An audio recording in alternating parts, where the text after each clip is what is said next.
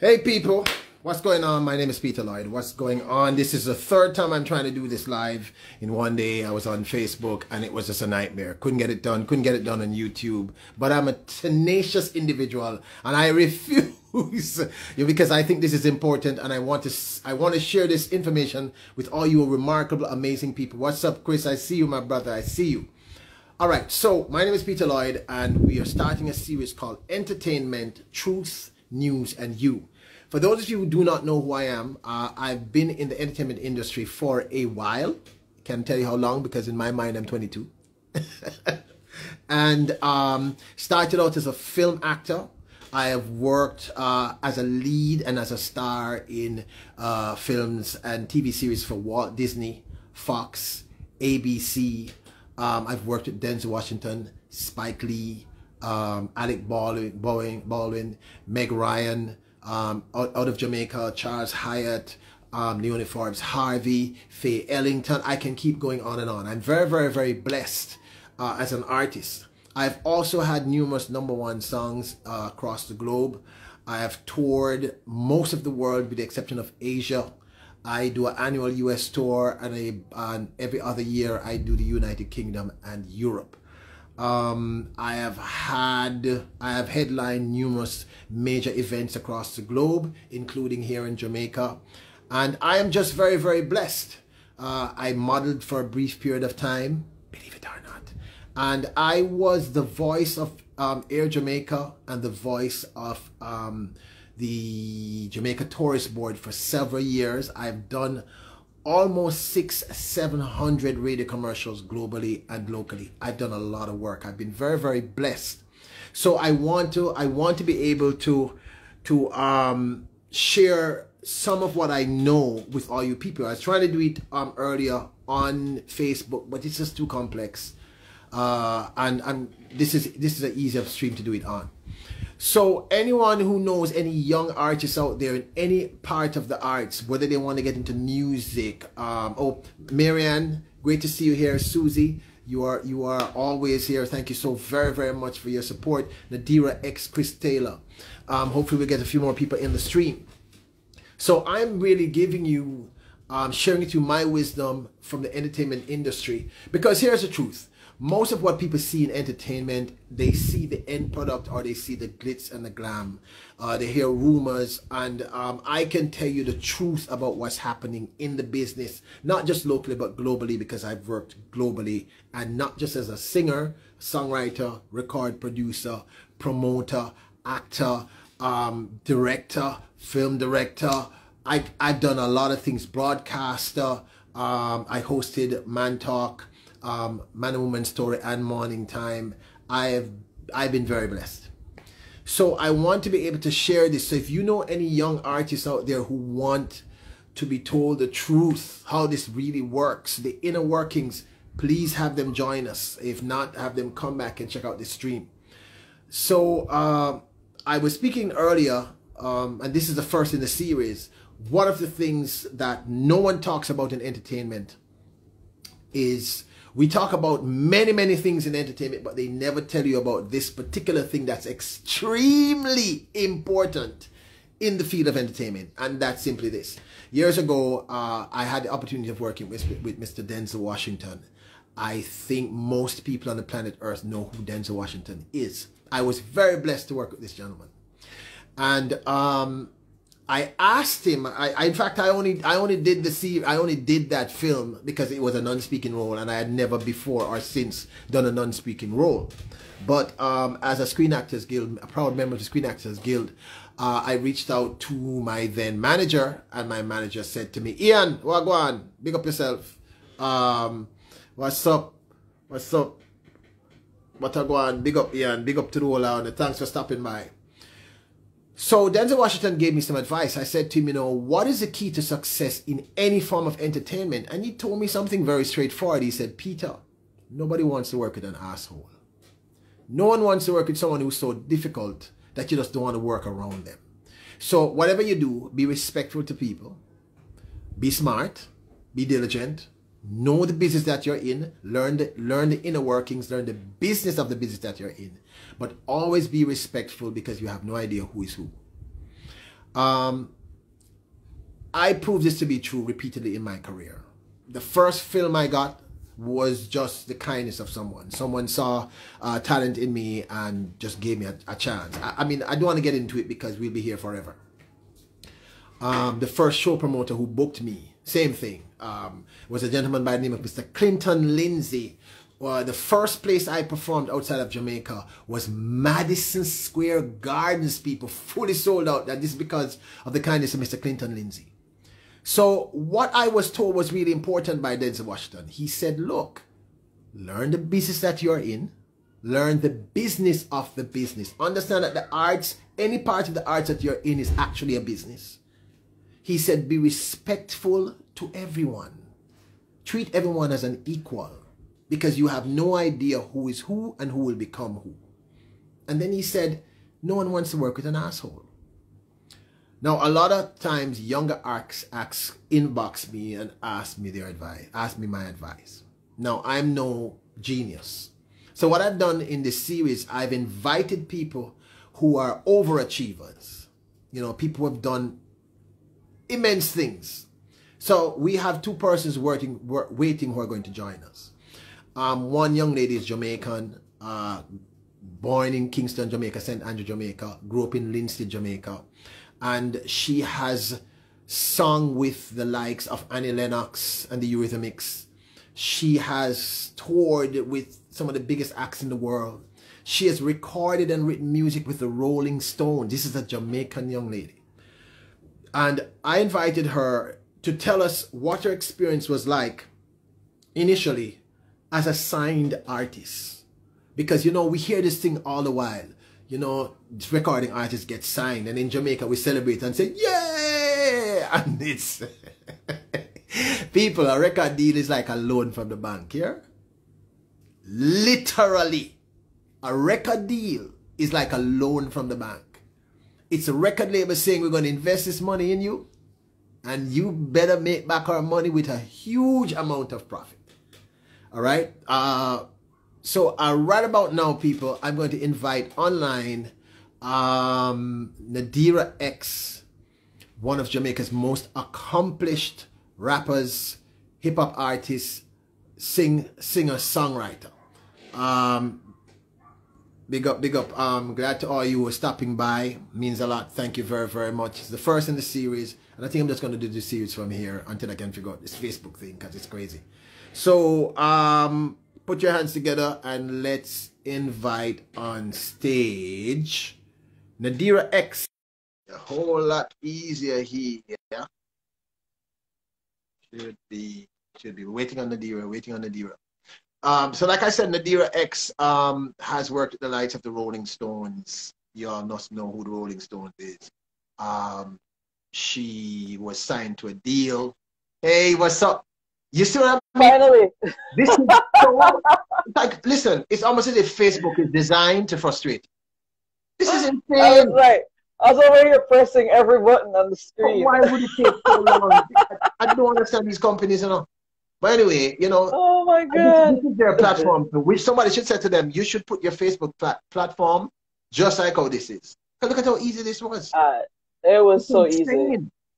Uh, it's so easy. And StreamYard was bugging out. So, but we're, we're here. We're here. Yeah. Let's hang out. All right. So, people, this is the Nadira X. Um, like I said, any young artist, if you know anywhere near you right now, um, any young singer, songwriter, rapper, producer who wants to get in the game, get into the business, reach out to them right now and tell them to come right here, right now.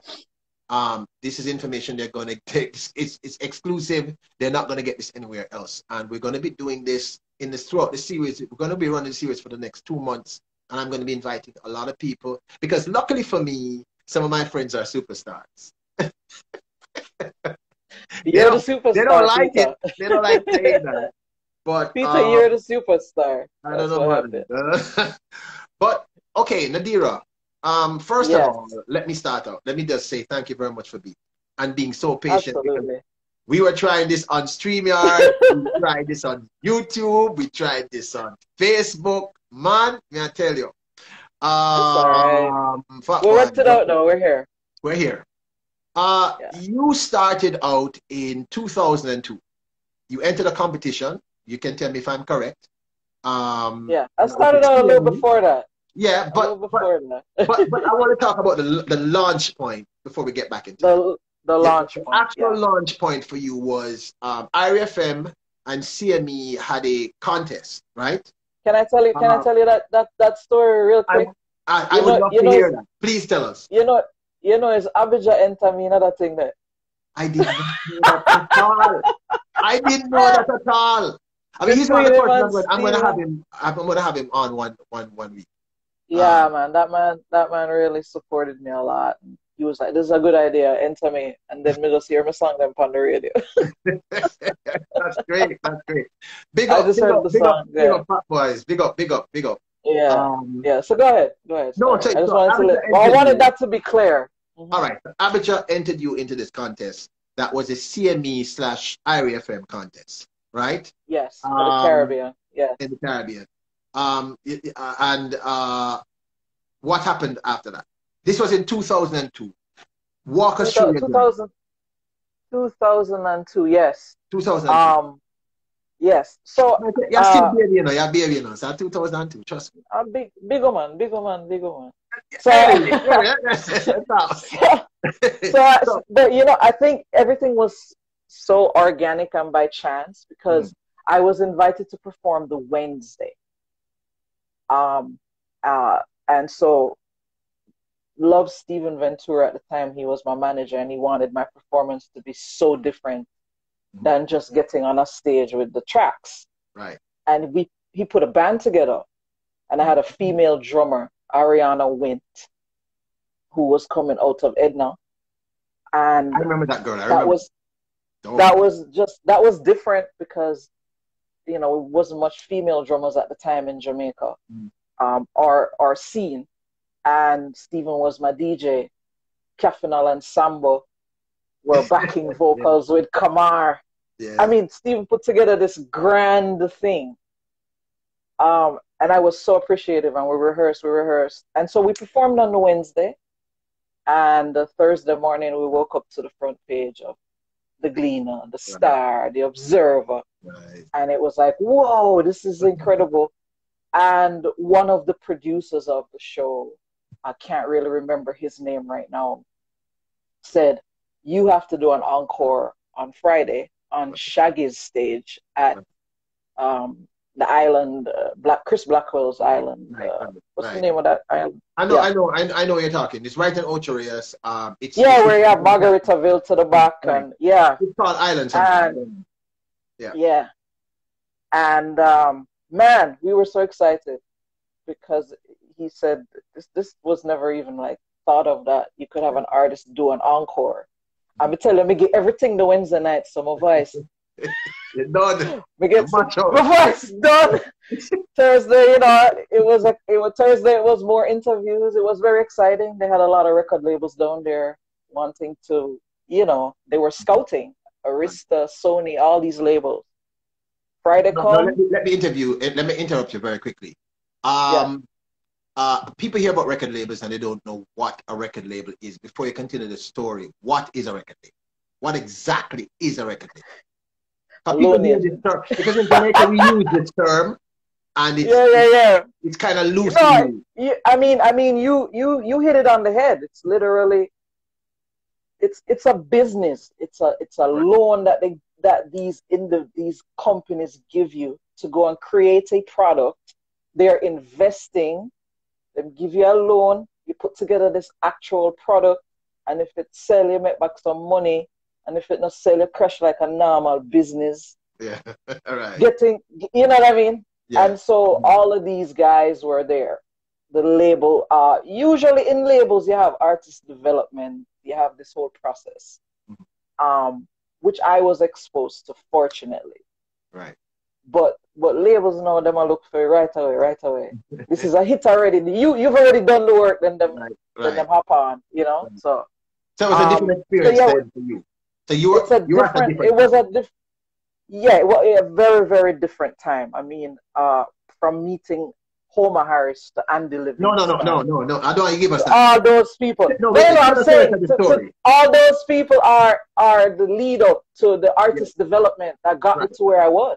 Right, right. You know, Mhm. um, to be able to perform, hold a mic, all of these things. right, Some of those things come naturally, but there's some- also the other parts of it. right, right. Um, so I I performed the Friday night, give it my all. You had all these artists in the in the Bone to Kill everybody, uh, you know. And my show was always so different because I was at the time the only female rapper that was somewhat popular Right. in Jamaica. Um, but I get off stage, voice gone, and the first person that grabbed my arm was uh, Brian Jobson Brian Jobson, the great Brian. The great Brian Jobson, and I I had met him before, and I was like, "Well, who this?" And he said, um, "Dave Stewart of the Eurythmics wants to talk to you right now." All right. And so of this course- is, this is now now this is again um, because maybe some of our listeners are not aware of who the Eurythmics were. The Eurythmics in the 80s and uh, 90s were one of the top three, four bands on the planet of Earth. Um, gave us some of the biggest songs in history. Sweet dreams are made of these. I mean, some massive, massive hits. So Dave Yes, Dave Stewart of the Eurythmics wanted to speak to you after you stepped off stage. I stepped off stage. I ex- I mean, I was exhausted. The whole way exhausted. Kamar, Kefin El Sambo, the band. We just were. We gave it all because that was the encore performance. Right. Mhm. and we got off just fully exhausted but exhilarated to be able to have graced that stage because that was you know the whole shaggy big yard camp was Right. performing. That was their stage. Um and also abijah performing at the time. Yeah that huge tune revelation. So um and the, and he he spoke to me briefly. He you know dave just kind of went you're such a star. I'm going to take you to england. That was our first conversation. Me sweating going what? You know? Mhm. and and he said uh, i'm flying out tomorrow but i'm i'm gonna meet i will let's meet. And um and we met the next day.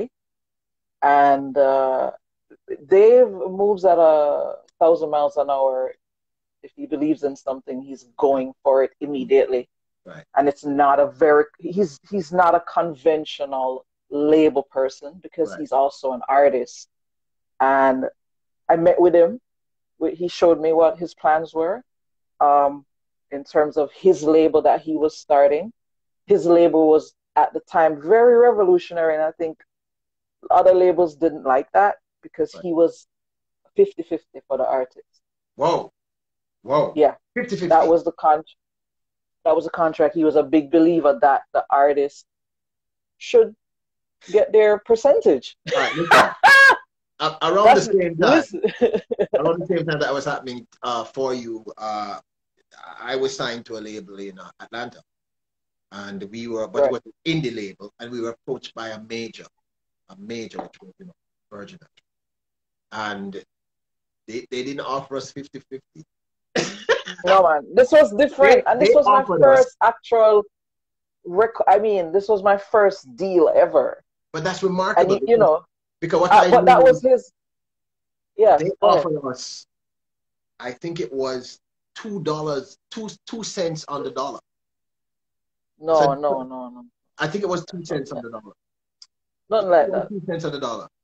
So Yeah, were- them thing that did go on still. right. So so I would have made for, for every dollar I earned for the record label, I would have made three cents. Yeah, man. That, So- but those so were the 50, them, 50 them thing that was standard. Yeah, it was it was a it was a, a revolutionary thought Mhm. that he put into play, Right. and he wanted to sign artists that he believed in. Right. You know, and I mean I didn't know he was in the audience filming me while I performed.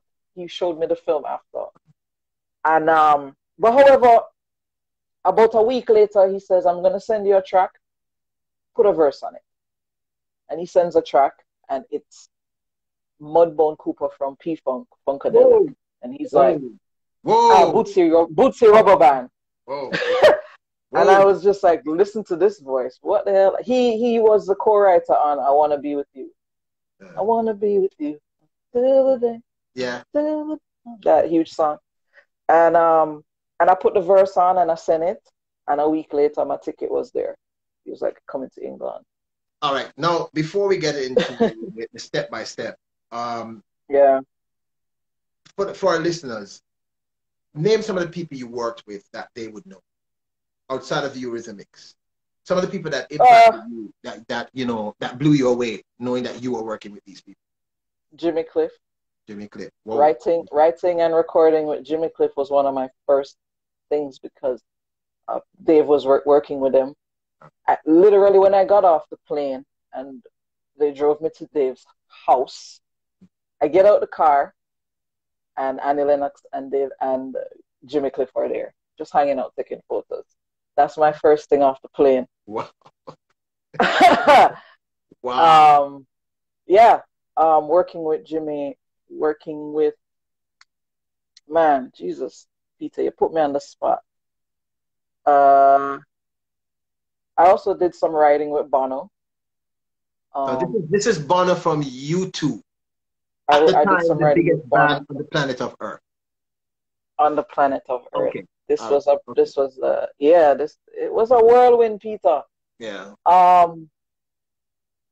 Uh, let me see. Let me see. Um. Well, I know. I know people that you work. I, I know that you work with Pink. You know. Well, well that was a tour. That yeah. was a tour. We, we opened for Pink. That was the biggest. The biggest because it was like stadiums and arenas kind yeah. of thing. So that was massive for us. Um, work, working on it. yeah, yeah. Come on. Wow. Going from just nads to you know, but also also it's a very interesting journey. As I said with Dave, it's a whirlwind. I mean, he called he he, he flew me up one time, I mean, I'd moved to London, and he said, uh, "Look, we're doing this this movie soundtrack with, um, you know, him and Mick Jagger executive producing and producing." Yeah. And then he just, and then they just gave me the, the film. so, so I'm sorry, because you, you you have a way of just speaking things over, right? You just said Mick Jagger. Mick, Mick Jagger, Jagger of the Rolling, Rolling Stones. Stones. Again, yeah. one of the biggest bands and artists on the planet. That's like saying Michael Jackson or you know yeah. it literally is. It's literally like saying it's like saying the Beatles or Michael Jackson or Bob Marley. It's like one of the top 10 acts on the planet. Go on. Yeah. Um and then I get in the studio and they Dave wants me to write my version of the Alfie soundtrack of the Alfie song which was sung by oh my god uh Dionne Warwick for the original Alfie movie which was massive with Michael mm. Caine, you know, yeah. and now they were remaking it with Jude Law. And uh, I met with the director, and he gave me a screening. Mm-hmm. Watched it a little bit. It was like you know Nia Long, all these people. Watched it a little bit, wrote it.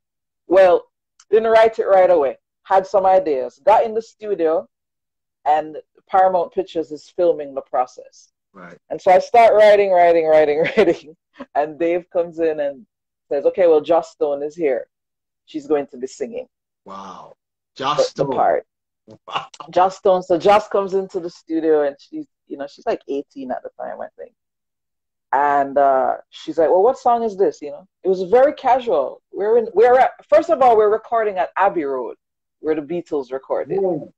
Whoa, whoa, So, so that's like a whole other element. And so I'm just in this massive room with with these incredible people, and Mick is there, and Dave, and the whole team, and all these cameras. And while the cameras are rolling, Dave takes my notebook, and he and he he hands it to Joss, and Joss is like, "But she's she's she's got to remember the the parts." Is that he's like, "She's fine." and I, I, I barely made it through that session because they're filming the video. I was like, "Oh God, remember the lyrics! Remember the lyrics!" But yeah, I mean, yeah, I worked with I worked with quite a lot of people. Very impressive. Did I was one of the only artists on Annie Lennox's "Weapons of Mass Destruction" album. I remember that album. Um, I have that. I, yeah, I mean, "Songs of Mass Destruction," yeah, yeah, and yeah. um, yeah, man, written on tracks with several things that haven't even been released. You know. Now here's the thing. Mm-hmm. Um, in my experience doing film, um, I worked with people who were superstars and who became superstars. Um, Denzel was already a superstar. I worked with um, Jamie Foxx. I, I worked with a lot of these people. And what I found is that they were the nicest and most normal people. Absolutely. In yeah. fact, they, they were my experience. I mean, when I when I came back to Jamaica and started doing doing the business here, I was. I think people got the wrong impression because I was really young. Because I was not. Look, if if you work with people like that, ain't nobody in Jamaica is gonna blow you away unless it's Bob. You get what I'm trying to say to you. But what I realized, yeah. they were genuinely very nice, very ordinary yeah. people. Was that your experience yeah. with um? With that was my ex- absolutely my experience. Um, very well. Well, the the thing is, is like people. When you enter a room with these people, you you're either going to be super like you've built up this expectation, mm. or you kind of just enter very be yourself, enter very calmly. Dave is always like, you always seem so unimpressed. but it isn't. It's just my coping mechanism that I, I'm here to accomplish this thing. This is an amazing opportunity. And so I, I center myself before I enter any of those rooms. And but once I've entered, uh, it's a because now creativity is happening and everybody's equal in that space and there's respect in that space and a lot of these superstars understand that process. That when you enter when you enter that room and you're creating, then. Everything else goes out the window. If you start having egos in that room, then the creative process is going to be is it the, the the entering and going, well, you know who me is kind of yeah. vibe. No. Because because no. I, when I guess what you're saying is everyone is really at the same level at that point. Yeah, you're at, because you're creating now. It's right. very raw. It's very basic. Everything is organic. We're mm-hmm. starting from scratch, and like I said, that was the environment that that Dave had. Yeah, that's the environment he still has. It's very uh, creative space. It's all about the artist, and I mean, and and and and that put me in the room with one of the producers of my first album, Glen Ballard, who wrote "Man in the Mirror." with my, for Michael Jackson and uh, Siedah Garrett. Both Siedah Garrett and him wrote, right. and he did the whole Jagged Little Pill album. I mean, pretty much put Alanis Morissette on the map. When I enter a room with him, and and I've been blessed to do that several times and still working, is all of that does go out, and we're just sitting by the piano. You know what I mean? And we're just, and he'll go, I have this idea, and we're bouncing it, and we're bouncing it and and you ha- and you're humbled in that moment. How did you, you um how did you manage because I've I've known we've known each other for a while. I mean at least six months because you know I'm 20 and you're you're 18. And, yes, yes, um, yes. Yeah, but I'm 22 and you're 18. And uh, I keep I keep pushing that line, people. Hopefully one day it becomes true. but but age, um, age in reverse. but here's the thing. I, I, I understand the temptation of the industry, having been at many aspects of the industry. Mm-hmm. Um, I know that sometimes because artists are insecure and people don't understand this, it's really their insecurity. They yeah. become inflated. You know, they're terrified, yeah. so they attack. Um, yeah. You know, what I said about um, Denzel and all these other guys, the truth is, all the artists I've worked with here in, in the, within the industry locally, most of them are actually really good. You know, once you get yeah. them away from the entourage and only just sit down and all a, all reason. Yeah. Um, but you were, there's a difference between hanging out with a local celebrity, but you were in the room with people who have redefined entertainment as we know it. The Rolling Stones redefined, uh, Annie Lennox and Dave Stewart redefined the industry. Um, some of the greatest songwriter producers. I have never ever seen anything akin to an ego from ever. I mean, I've never seen anything in your personality because um, there are people in the stream who are saying, "How can how can we? How I know, I know the song, I never know how she do it. How how she's so humble and how have you remained grounded? Because I want people to understand that she is still working with people like this. She's still doing this stuff. How have you managed to maintain a sense of self and equilibrium in all of this? Foundation. What would you advise, what would you advise an artist who's just breaking, you know, like like like you were? What it's foundation. Think? It's my foundation. I think first and foremost, I think my parents mm-hmm. have a lot to do with it, and how I entered into this business. Um, and I still don't like to call it a business because it's my passion. You know what I mean? Right. Um, I don't know. It's just you know I'm I'm I'm a very laid back person, Peter. I think the only time I really got super excited was when you called my house. and I was like the young artist, and Andy said, "Yeah, man, Peter Lloyd want to meet you." And I was like, "What?" I mean, I do get excited. I do get excited to work with all these incredible people but I don't know. I just I guess it's the wiring. I guess it's um I don't really have any great desire to show out and show off. The only time I feel inflated is when I'm on stage and the audience love it. Yeah. And you know your ego kick in there. Yeah, you know you have it halfway through the show, you say, Yeah, yeah man, that yeah. thing you like, you know. Yeah. People them dip on them feet, you know. Yeah. so but once I get off I'm back to being nuts. I'm just nuts. Mm-hmm. And I like and I, and I'm and I like to hold on to that because that's the part of me that taps me on the shoulder. It just nods, you know, like a no. barefoot girl on a instead. A, a lot of artists, uh, we in the age of the of of um, the internet and social media, um, people are able to make pronouncements about themselves that are not really true. So people can call themselves superstars or stars or international artists or stuff, and I understand because um, I think the, we're in an age now now where the hype goes before the talent almost. It's almost as if the hype and I, and, and and don't get me wrong, I have no problem with anybody who does this. I don't care uh, about that. That's fine with me.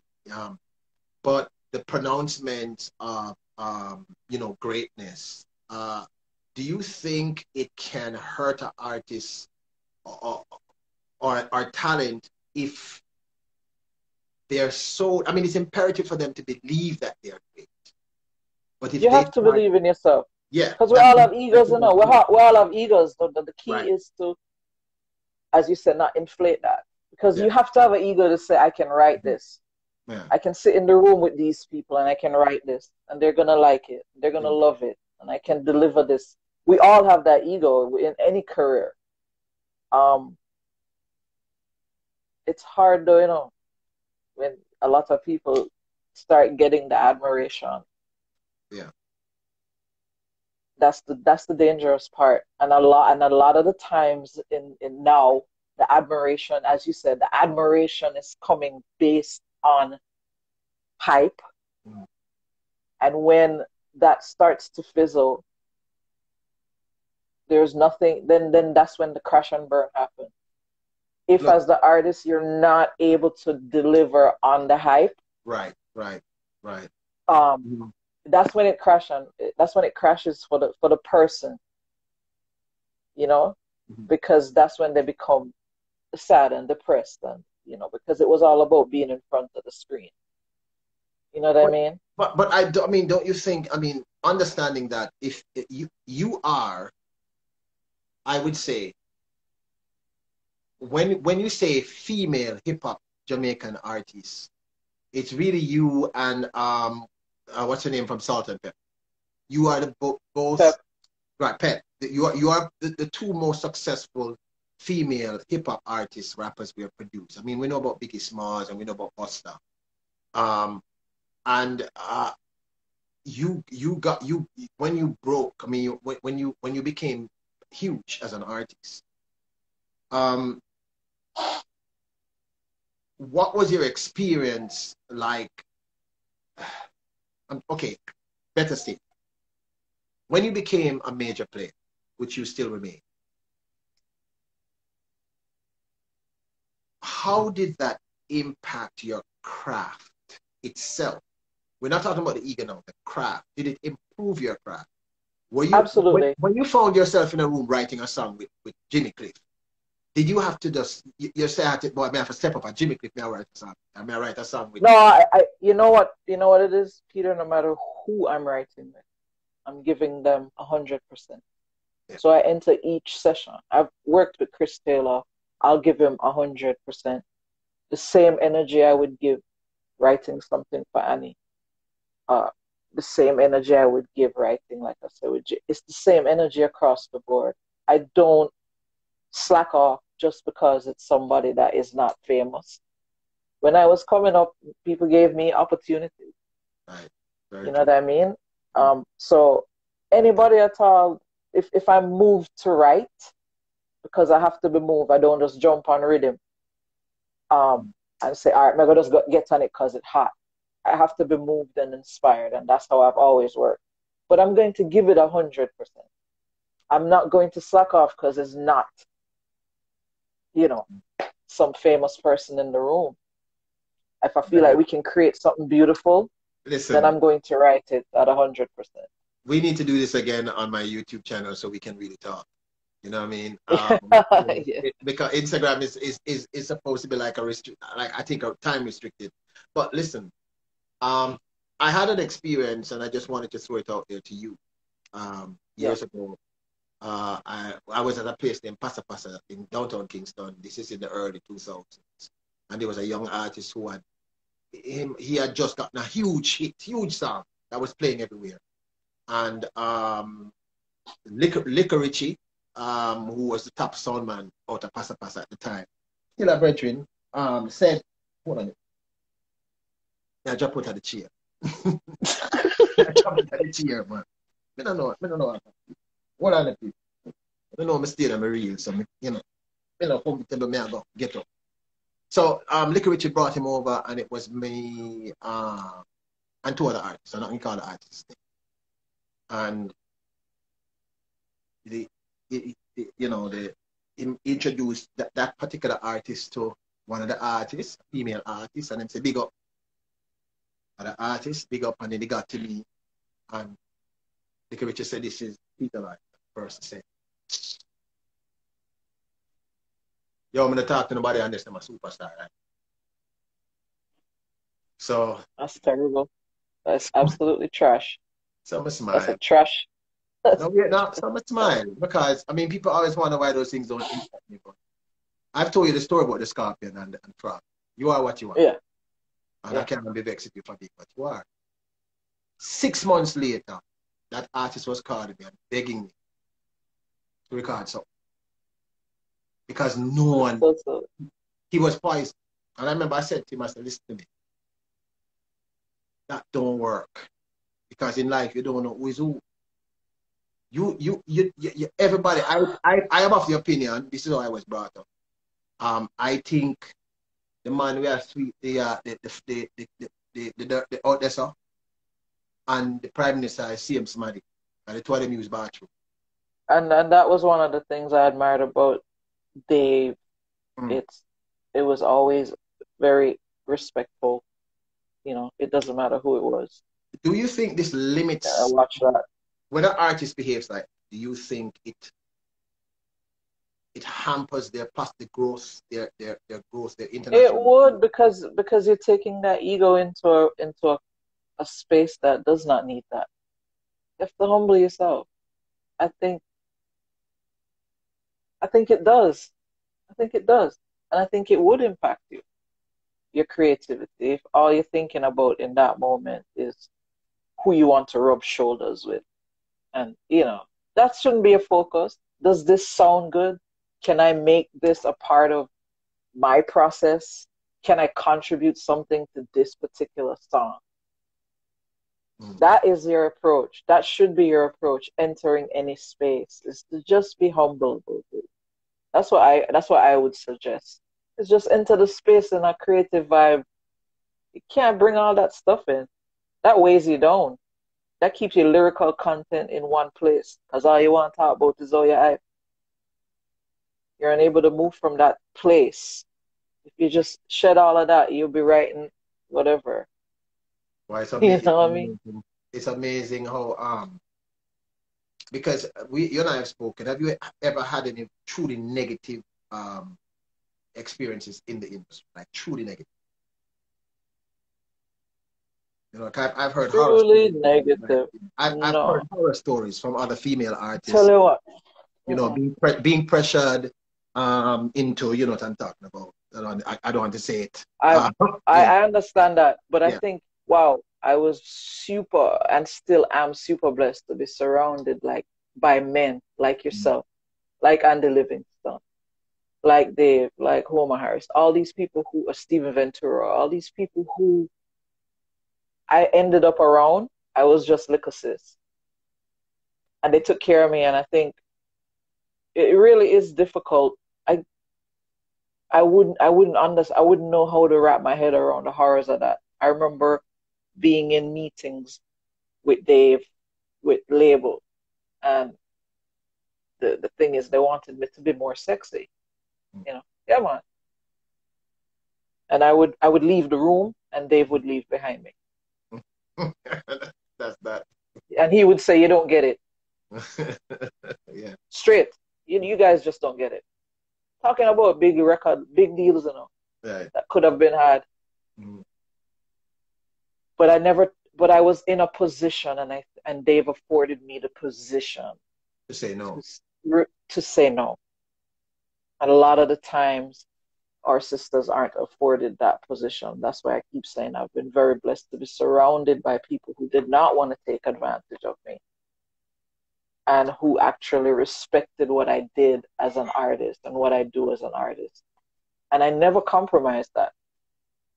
Look, sis, can we do this a little later today on, on YouTube? you know that's you can work it up. Because I want. I know. I, I know you wanted to get this up. Yeah, yeah because, because what what I want to do is, um, you know, it, I'm very blessed uh, to have friends like yourself and um, as we are blessed to have you. You know, I, I, humble, but I I want to have a lot of information up here, and I think you do, and a lot of us do, and very often um, younger artists say, you you know, the, the the more mature artists are not sharing their wisdom, knowledge, or whatever, and I'm I'm what I want to do, what we're trying to do in this platform is is take people behind the process because uh, and, and with persons like yourself, you are truly an overachiever as an artist. That many well, Jamaicans know. know. But don't know. I don't forget what I'm trying to say to you. Um, they uh, know you, they know your music, they know you, but uh, and, and again, and, and this is the one more thing I wanted to get in before I invite Chris on. Um, what is success as an artist? you you you have appeared on massive soundtracks. You've you've recorded with top artists. You or right before this, people she was sharing something with me because she didn't remember how many number ones and number two songs she has had across the world. She literally didn't remember, uh, which was so funny because that's that's what most what? artists live by. So so for mm. you, I mean, for me, I can say this: um, success for me is my health, my family's health, my daughter, my, my children's health. And they're okay, we're good.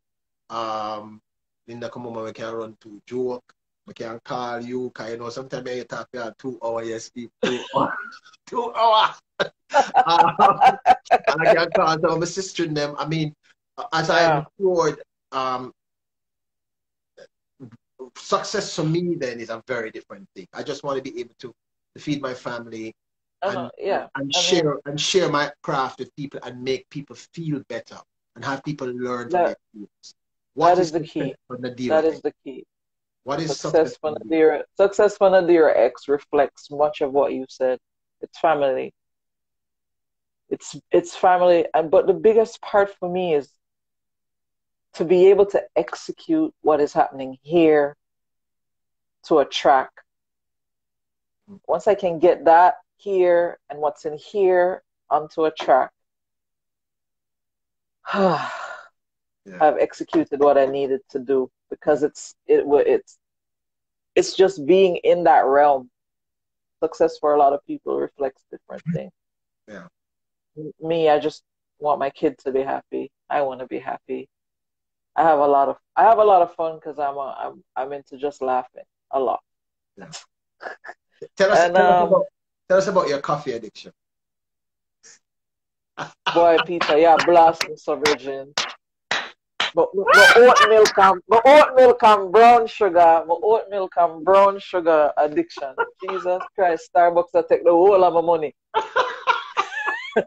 me out for broke, you know. I try buy this thing every morning jump up. Uh, yesterday, me say, me, yesterday my daughter buy me a cup. I say, honey, me go broke I buy this thing. go sponsor me a cup of coffee. well, people, let me tell you something. You're not Nadirah is the only artist I know who's a morning person. No artist. I'm a full on morning person. I know. If I go to bed at two, I'm up at five. But I love to greet this earth. I got, I got, I go outside barefoot and touch earth, man. Just great, yo. You have to. I'm such a, I'm such a morning person. I, I, I don't even care what was happening the night before. When I get up, I, up, I'm up. I can go crazy. write some music. Sis, it's crazy. You you're not a morning person? No.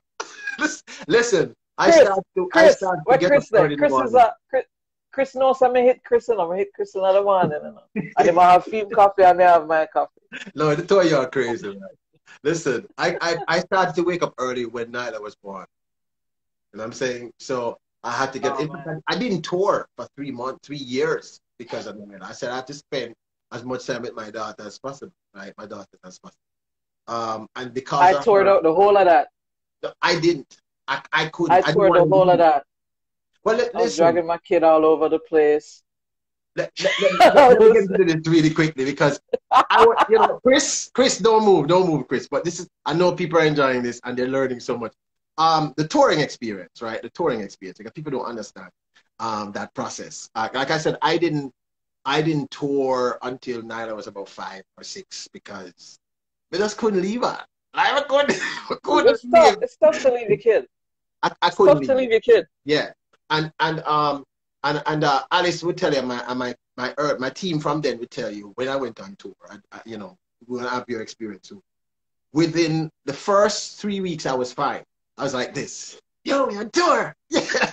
And then like my week four, I'm like, I want to go on my yard. I want some fried dumpling. I want some, want some, want some ripe plantain.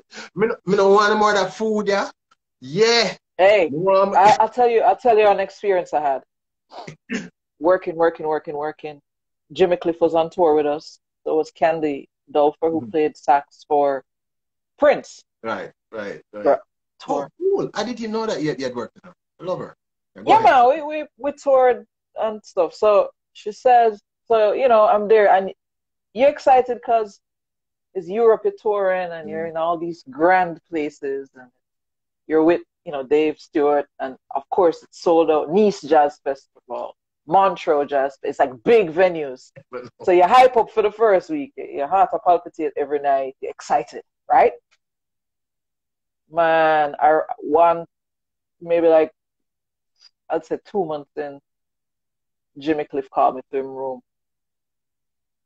He said, "Sis,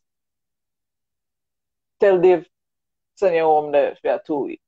You can see for him. you need to take a break, you, you, you know, you, you know what, miss a moment? Jimmy say, go home. Listen, people don't understand enough. When I was go home. regularly. You know, I go with my re- re- rejuvenate, come back, you're ready again. Yeah, but Take I, your break, go. I, I, couldn't do that because unfortunately, well, not unfortunately, but unfortunately, I am the I am the lead for the tour, so I can't take a break. And I'm telling you, oh no, when we do those Europe tours, and people don't understand, like we would do four months, three months. I mean, by the time you just want to go home, and then now you know Europe, their summer is not really a summer. it, it, no, that was the thing. It was becoming and by that time I had moved there. So like oh it's God. just gray. It's like gray for six months. Man. There's snow, there's rain, and and and, and he saw it on me. Jimmy saw it on me. He said that, that's the beauty of having a veteran around here. A vet, a veteran, a veteran. I'm sure like everybody has saw it, but here's this process, and so there was a break coming up. Mhm. You know, um, so go home. Most beautiful thing you could have tell me. Yeah, man. But down in instead I eat fish and all sort of something, and I drink coconut water. Was So it, that's the beautiful thing. did you have you ever had an issue, especially in your early career, of stepping out of that touring environment with, with surrounded by superstars, becoming a superstar yourself, and then you come right back at your yard. No, no, no, mother say- and your mother superstar, man. Nadirah, go wash your plate them. Did you have a problem adjusting? Did you ever have that problem? No, no, we not a problem I adjust to that. That's that's Regular. life, man. Wash, cook, clean, take care of yourself. I, I don't have no yeah. The minute the minute me land back home, me gone up at Andy studio. I just Yeah. want to go hang out. It was never a thing of oh my god, I'm back. I need to go. Mm. No, Wow. I was I just want to say I just want to see my people. I want to be with my people. I miss them more than anything else. So that would be the thing. Yeah, man. Andy would tell you, if Milana Jamaica, the first person we call, Italy, tell you, Andy. what what we are do? Hang out. Uh, people, for those who are just coming in, you're watching Entertainment Truth News and You, uh, where we tell the truth about entertainment. Uh, I'm your host, Peter Lloyd, um, actor, singer, songwriter, broadcaster. We can keep going and going. And we have Well, in front of us um, one of the most uh, successful rappers, hip hop artists in the history of Jamaican music. Her name is Nadirah X. Go Copper. She has new music out right now, just dropped. Um, amazing songwriter, artist who has worked with the best of the best, and they will tell you working with her that they worked with the best of the best. Um, well, uh, one, last, one last question. I don't know if I should to know. One last question. Maybe. before I bring on the quiz. Um, we're going to do this later. We're going to do this at 6 p.m. Everybody, we're doing this at 6 p.m. on YouTube. I do it properly. I'll try to figure out how to do it at Facebook. Um, final question. Yep. Uh, now, this is a question that people, like every interview I've ever done, they ask me this, and I can't stand the question, but the truth is, it's a necessary question, which is, what advice would you give? what advice? You went into your radio voice, Peter. Yes, what, What advice? would you give, advice? Um, a, a young upcoming artist uh, about getting into the industry and remaining true to their craft, and finally, is it important to be nice in the business and to be manners because because what, what I realized in my business here so is that um it's like some some some of my brothers and sisters they not know manners. And I I never understood the logic of that. Because like I Yeah. said all of you use I use a bathroom and the truth is you know you know the, the you know the business Human beings. the business is like this. This is the business. Yeah, up and down. Yeah. um, what advice would you give to young acts, especially in a time where hype supersedes substance? and let me think say again, I don't have a problem with hype. Hype is No, necessary. hype, hype necessary. Um, Yeah. me not really big on hype. Me like just We get know. cuss out all the time. You know, post nothing on Instagram one week, Mr. Jono. When me go post Mm-hmm. the, the, the coffee? we don't know if I post. I think though, um, yes, work on your craft. Artist development, I keep going back to that, is so necessary. You can't just, especially the, the, the individuals who are managing these young artists, they're just they're just throwing them to the wolves right now. And if them not make it, them go and left them, you know. Find somebody. First thing you do is you, you find a team of people who believe in you, your talent, not what you're going to look like on Instagram, not how much follower you have, not how much likes you get. At this particular point, to stay true and stay grounded to the craft. Yeah? Work on that and work and work on your work and work on your work ethic. Right. You mm-hmm. can't you can't you can't get called for a session and then you you, you know you show up hours late and in disarray. I think I think you treat it like this is your job, mm-hmm.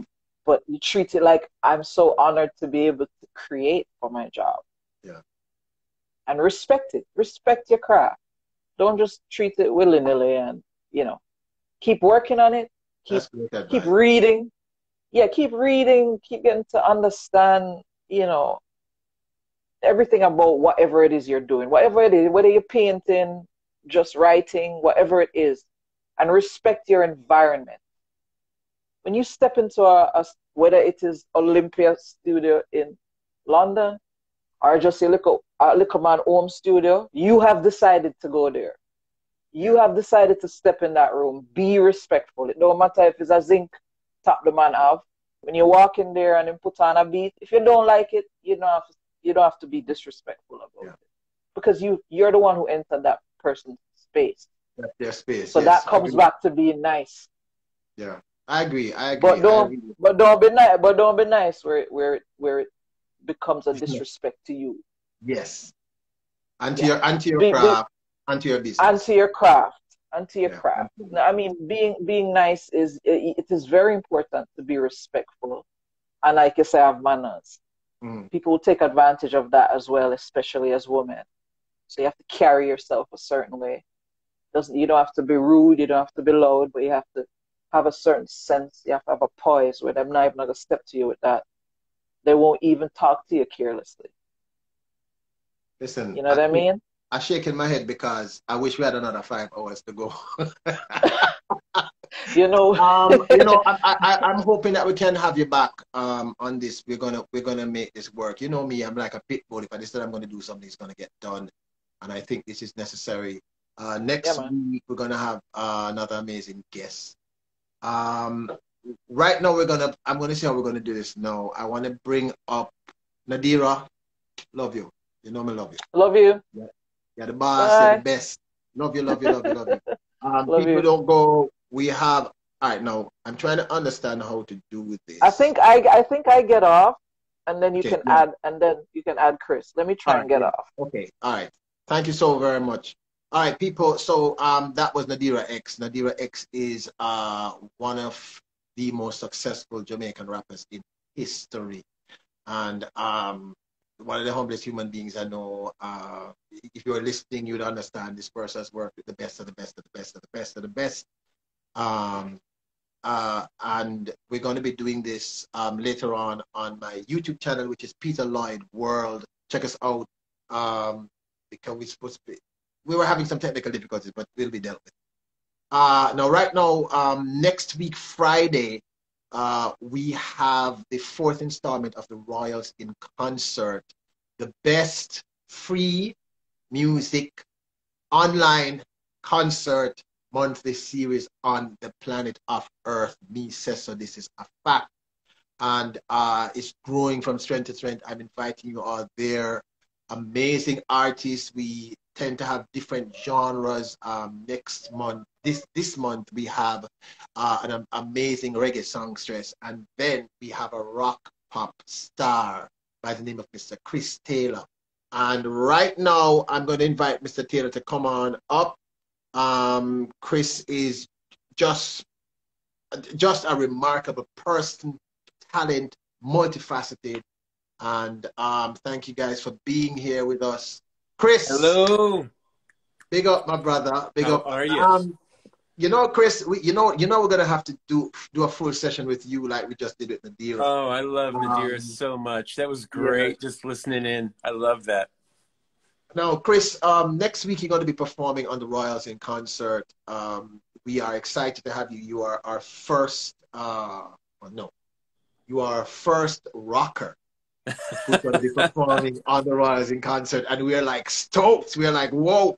Um, people, I uh, Nadirah X introduced me to Mr. Taylor, Mr. Chris Taylor, and I fell in love with his craft, his music, his art, his persona, his humility, because he's right there. He's probably going to turn pink in a few minutes, knowing Chris. Yeah, he I hates feel it coming on. He hates this. Yeah. Um, but a truly talented person, and um, we are very excited to to have him perform on the Royals in concert. As as one of our two headliners, uh, which happens um, next week, Friday, uh, the 30th of April at 8 p.m. Jamaica time, 9 p.m. Eastern, and I think 6 p.m.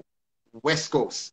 So you guys have to make sure you are there. It's going to be remarkable. It's going to be on the Peter Lloyd World or Blacklight Records um, YouTube channel. You cannot miss this. Um, it's every every month we have two amazing artists. Chris, um, how? No, not how. Why music? Why art? Why paint? Why? Um, you know, it's ever since I was a kid, ever since I can remember. Uh, I was born in a little town upstate New York. And in that little town, I lived kind of right on the edge of Lake Ontario. And Lake Ontario would have uh, the shore of Lake Ontario was a bunch of rocks, and I would spend hours by myself picking up rocks and skipping them into the lake and dreaming up my future. And I was born in 69, so in the mid 70s, and the early 80s, uh, my sister, my older sister, uh, she managed one of the two movie theaters in that town. And one of those movie theaters was built like in the, I'm going to say in the 40s. And it had an upstairs and a downstairs theater. And the downstairs theater had like a little stage for like a little Broadway play or a little little live, you know, theater thing and it had the plush curtains and it had the stage lights, the blue, red, blue, and white stage lights come. And so the cool thing about it was, is when no one else was there, my, you know, my sister would open the theater and the smell of popcorn in the air.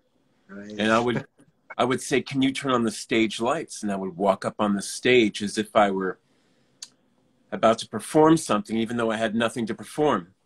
And I dreamt it all up in my head. I, I I could see, you know, in front of me were uh, a couple hundred empty seats. And I had the lights in my eyes and the curtain to my back. And it was like, it just felt like this is, that's where, where I should be. And then, um, you know, I was always drawing and, and writing.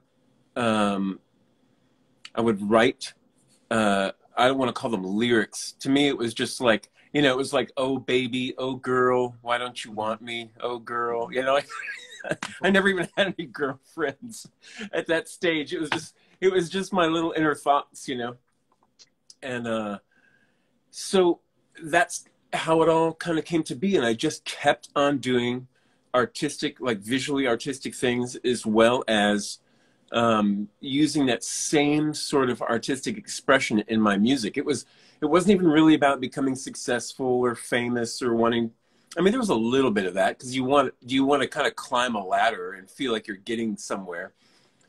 But it wasn't as much about that as it was like I had such a passion for just trying to take almost like what Nadirah said, like trying to take what is in here and putting it onto a tape. Um, you know, back in the early days, it was like a four track recorder, you know, and now it's like, you know, you, you can, you have an unlimited possibility on your computer to, to do just about anything you want. But that's all it was about. Was artistic expressions in every way. And somehow I've just sort of navigated my own little life doing exactly what I want to do all along the way. So it's, it's pretty uh, rewarding to say the least. Now, now there's, um, you know, it's, it, it's it's always remarkable. It's always remarkable um, when I when I listen to you speak, um, when I see your your your paintings, and when I hear your music. Um, I I see every the, the soul of everything stitched together in one canvas. It's it's it's it's a remarkable thing to see a songwriter, singer express himself on a canvas. I, I, I don't remember ever seeing that before. Um, and and uh, what's remarkable to me is that I am as impressed with your art as I'm impressed with your art. You oh, thank you. Yeah, thank you. It's a remarkable thing. Um, next week, uh, because we're gonna we're gonna have to come back and do this the the way I want to do it. Sure. Um, what do you have in store for um, persons who, who want to come by and watch you perform on the Royals in concert? What, why should they come and see the great Chris Taylor? I mean, I, I think that's oxymoron because I, I, I know you are the greatest, Taylor, but for well, those who don't know you, why, what do you have in store for them? You know, well, just, uh, I'll just say this: I think people should come uh, to the to the Royals in concert because you are bringing together a diverse community of people from all around. And that, in and of itself, um, you know, month to month is a reason to tune into this. Uh, but specifically, as far as I'm concerned, you know, uh, it's the performance next week will be myself and a guitar. And it'll be um, very organic and uh, you're going to get a glimpse of what I do uh, musically and and with my visual art as well. And so you're going to get a really good combination of that. Beautiful. Um, Beautiful. And if you just want to see a performance that's not about hype, kind of like what you and Nadirah were talking about, it has nothing to do with hype, has nothing to do with about uh, trying to achieve a kind of success. It's just about I took, you know, I'm going to take a few of my songs, um, and these are some of my most personal songs. Your personal favorites. And um, and I'm going to share them with you in all of their uh, in all of their intensity, as much as one guy and his guitar can do it. And uh, and uh, to me, that's like uh, it all starts there because it's that's the way it sounds when I write it, and then I'll bring in a band on, on for some time. You know, some occasions I'll, I'll be playing with a band, but this particular time it's going to be my canvases my acoustic guitar, my voice, and um, I think you'll get a hopefully, um, you know, why any songwriter writes songs is because they feel like there's something like it's going to burst inside of them if they don't put it out into the world. And so hopefully there's a reason for these songs to be written. And and not only is it a joy for me to write and sing them, but I'm hoping that that will that joy will translate through a a phone or a computer screen or a television screen and and come out the other end and and have an impact on other people too. So that's you know that's is is concise as I can possibly say it. well, I mean, people. Um, I've seen I've I've seen Chris um, perform, and um, you know, like I said, I'm a huge fan. Uh, one of the things that I am fortunate uh, regarding um, the Royals in concert is I'm able I'm, I'm able to bring together this this remarkable community of people who are so talented. It is almost frightening. Um, you know, and and uh, I can say unequivocally, uh, the, the, people out there who, who know me know that I, I do not BS unless it involves Jamaican Bulla and um, Jamaican beer. Yeah, my love Bulla.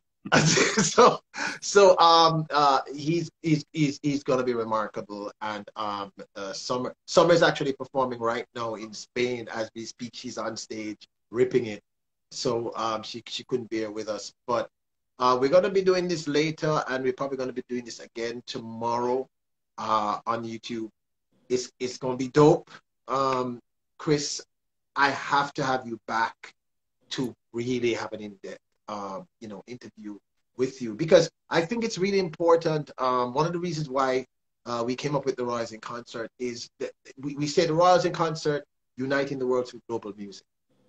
And um, to have a young lady who just won the award in Spain for Best Reggae Artist, along with a rock star on one platform performing is just unbelievable. You know, um, we have had uh, a roots reggae artist with a, R&B singer. We have had Nadirah X, um, an amazing hip hop artist. So, the, so um, we are humbled, we are elated and excited to see the great Chris Taylor perform.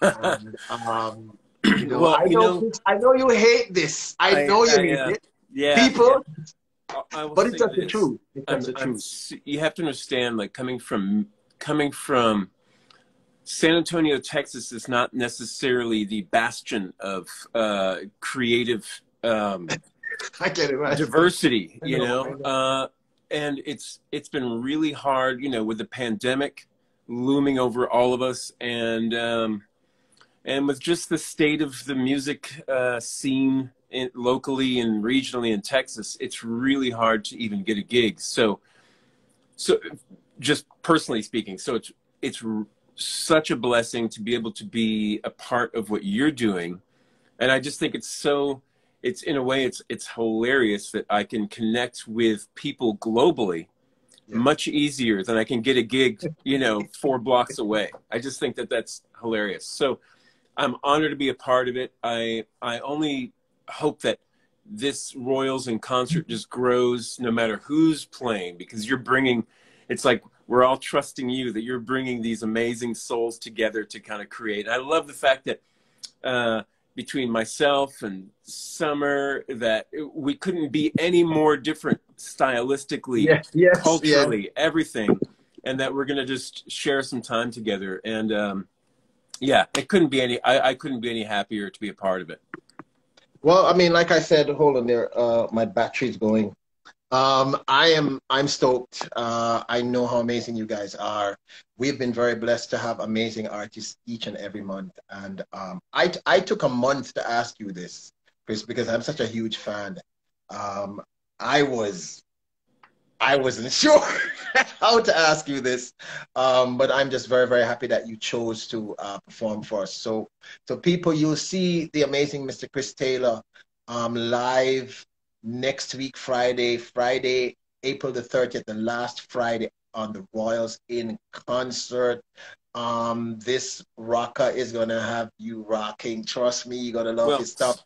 Soft Um, rocking, but but rocking yeah, nonetheless. Yeah, but rocking nonetheless. and um, I, I and, and there's a there's a there's an element to his performance that is absolutely unique. That's going to just blow you guys away. I'm not even going to talk about it. Um, just just remarkable, remarkable talent. Thank you. And um, and uh, yourself and Nadirah and other the other artists have keep saying um, you are meaning me. It's not. I'm not the person who's doing it. It's we as artists.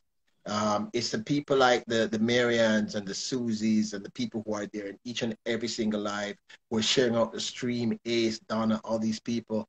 Um, it's a collective. I mean, you know, the whole purpose of what I'm trying to tell people and what I've learned as an artist is no artist does this on their own. oh, that's so, the truth. uh, you know, so I'm just happy to have all you amazing people here with us, sharing your time and your talent. And I'm hoping that we can get you back to come and sit with us and talk to us about your journey as an artist and as an artist. You know what Yeah. I'm saying? Uh, the art, yeah, the don't wait another month. Just ask me. I promise. No I'll return your problem, phone no calls. I promise you. I, I, I am really stoked to have someone um, as remarkable as yourself. And by the way, people, um, as mature and as um, intelligent as Chris is, he's a bit of a nut, just like myself and Nadirah. You know, we're all a little crazy. it's the art. uh, It's it's a thing with the artist people. We're all a little nuts, and but it's a good crazy. It's a you know what? crazy. There's there there's nothing better in life than laughter, than like genuine laughter. Um, you know, Nadirah and I got a chance to work on a few songs. We have a couple projects out and about. We're working on something else, you know, soon. And uh, so we both love to laugh. I got a chance to spend some time with her uh, in LA recently, and it's she's as genuine as a person as you, you would think she'd be from this from this interview. Um, and I think, yeah, I, think we all do have some screws loose, but they're the kind of screws Good that I want. I don't want those tightened. I, I want Yeah. them loose, you know?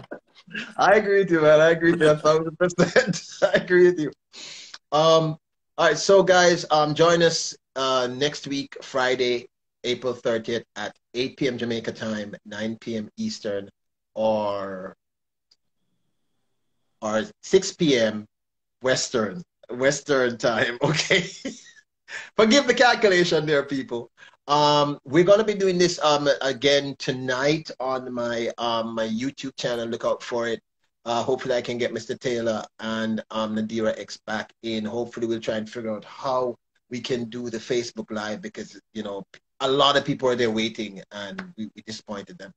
Uh, but um, what we're going to be doing, we're going to be doing this again next week, Saturday. We have um, two more amazing persons lined up to be interviewed to tell you about the truth about the industry. Hopefully, we can get Mr. Taylor to come back in and give you his, you know, his two cents um, on the industry. But uh, this is going to be a series now. It's called Entertainment, Truth, News, and You. And if you know anyone who is in the business who want to learn about the industry, how it really works, um, send them over to us. Uh, uh, they can watch this, they can watch the lives, or they can be here live. So be here next week. Again, that's the day after the Royals in concert. Uh, I am so stoked about that, people. Um, huge fan of both of these artists, um, Summer and Chris Taylor. Just people, I'm happy, I'm happy, I'm happy. I tell you, um, I'm, I'm so happy to be able to bring together all these remarkable individuals. You know what I'm saying?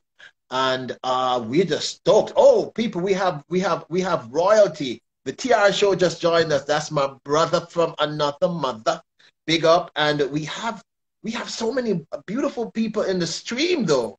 Um, Susie, Marianne, the great Nadirah X, Hawthorne just joined. Big up yourself. Straight, Double H just joined. Big up yourself. Um, so uh, we're gonna be doing this a little later on. I think at about 6 p.m. Jamaica time, which is 7 p.m. Um, Eastern and 4 p.m. Western. We're going to be doing this again. I keep trying to calculate because I don't remember You're if it's better two hours or three hours. Better at that than I am, Uh, we're sure. going to be doing this again, and we're going to try and do this hopefully again tomorrow on Facebook. We just have to figure out uh, how to get this done. People were trying to do this, and we could not bring up the guests on Facebook. I don't know what that was about. Maybe we have to use a PC to do it. Um, but we'll get it done tomorrow. Hopefully, I can talk these two beautiful human beings to come back on air. Yeah, I'm gonna get back to spray painting my walls. Whoa, whoa, whoa. Um, you I know even what? paint. I even paint the spray paint. That's so cool. this this is what I'm saying, people. This is how remarkable these people are, and um, we are humbled to have you, bro. We are we are humbled. We are humbled, humbled to have you. Uh, it's gonna be fun. It's gonna be fun, fun, fun. Oh, I have to say two more things really quickly. Um, one, we have two new sponsors for the show. We have McCoy News, who just came on board uh, out of uh, Montego Bay, Jamaica. Big up McCoy News. Antonia, big up yourself. Thank you so very much for the support. And we also have um, the Sam Brown Joint um, representing the North Manchester FM station out of Manchester, England. Thank you so very much. Uh, we have to big up for the show. These are sponsors for the in Concert. Mr. Clinton Lindsay, Foundation Radio Network, Blacklight Records. We have to also big up Just Right and um, Hype TV. Um, we're just stoked and thank you to all these people who have come on board. It a go nice, it a go nice, it a go nice, people. Trust me, it only gonna it's only gonna get better.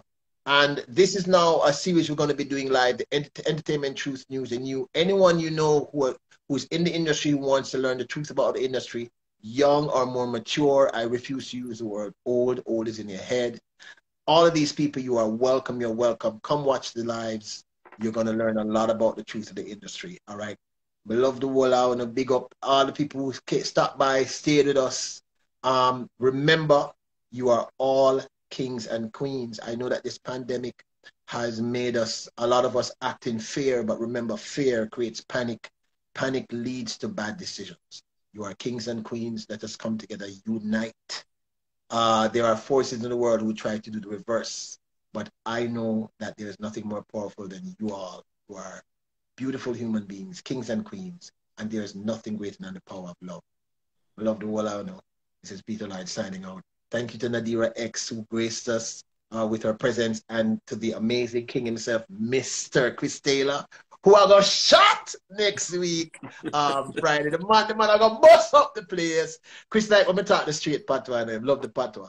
So I'm gonna bust up the place. So um, we have two amazing artists lined up for you next week.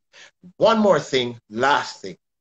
Starting on the first of May, we're going to be doing a segment. We're going to be doing an online competition for younger talent.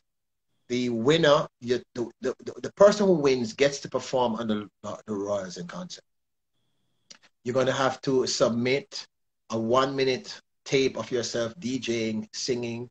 I don't care if you have a guitar, band, it doesn't matter, a cappella. Submit, it cannot be longer than a minute or we won't be, we won't be watching it. One minute, submit it. You can either submit it to teampeterlloyd at gmail.com.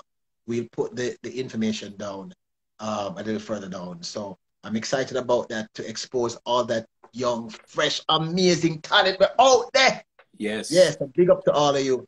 I love you guys. Big up and bless up. We will see each other. Um, if you you can check us out later on YouTube and tomorrow on Facebook, we're going to be doing this correctly. And of course, people, remember the Royals in concert. All right. That's Friday, April 30 at 8 p.m. Jamaica time, 9 p.m. Eastern, and 6 p.m. Western time. Come by. We have two amazing artists out of Spain via St. Elizabeth, Jamaica, Summer, and out of San Antonio, Texas, the one and only Mr. Chris Taylor, who is right here with us. Big up and bless up. And we have two amazing guest hosts. We have Tease Loco, who's a well-known um, uh, online celebrity, remarkable person and a close friend. And we also have Mr. the one and only Chef Noel Cunningham, a culinary genius out of Toronto, Canada. So it got a nice, it got nice, it got a nice people. Wake them up, wake them up, can't you see that we're sleeping? Big up to all of you, Chris. Big up, boss. Love Thank you, so much. You kings and queens. All right, me have to say, I'm going to end this. I'm going to end the live, people.